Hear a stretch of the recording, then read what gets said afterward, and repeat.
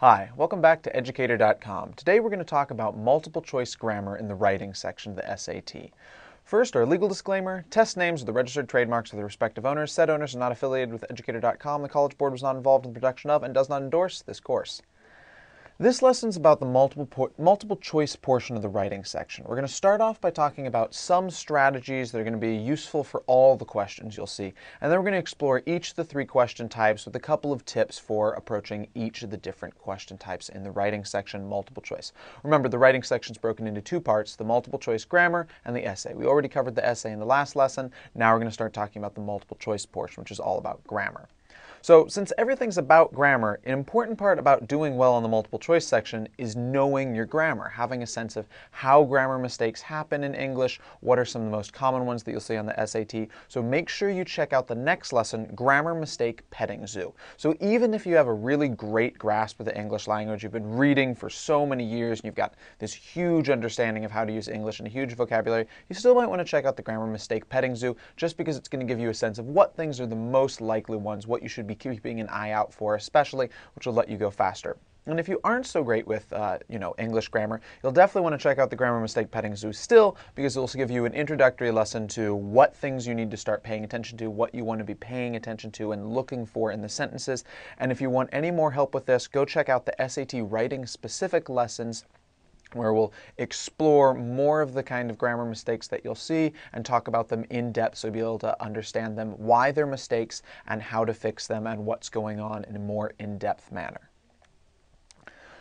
The writing section is about formal written English. The correct answers are based on proper grammar and using the language correctly. I put proper in quotes because in many ways the language that you or I speak, if we're being understood by someone else speaking English, in some ways we can consider that proper English, but it's not proper standard written English, what's been agreed upon for a couple hundred years now. So there's some formations that are acceptable in spoken English, or at least we understand understand what they mean, but are not acceptable in written English. I'm sure you're used to this. So what this means for you is you have to avoid colloquialisms, things that are everyday expressions, but we might not, not think look so good when we see it written out. So it's never going to be as obvious as seeing LOL on the test. You're never going to see LOL written on the test, and it's your job to replace it with someone was laughing but you are going to see stuff where it's going to be something that is a really common phrase that sounds normal when people speak it,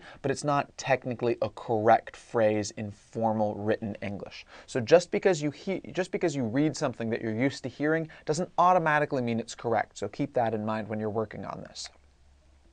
You also want to beware of rising difficulty. Since the test is on formal English, you want to be careful about how the difficulty is going to increase. Remember, in each of the subsections, the difficulty will increase as you go. So you've got this sort of sawtooth curve where it drops down at the end of each subsection.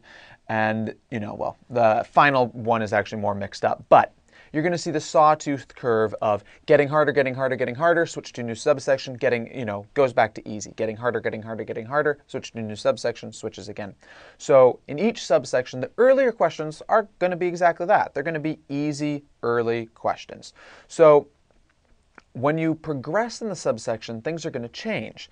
As you get farther into the subsection, the errors are going to be harder. Because what does it mean for something to be hard on the SAT? It's that most people aren't able to get it. They know how, how well people do, and so they're able to figure out what is difficult based on how well people do on it.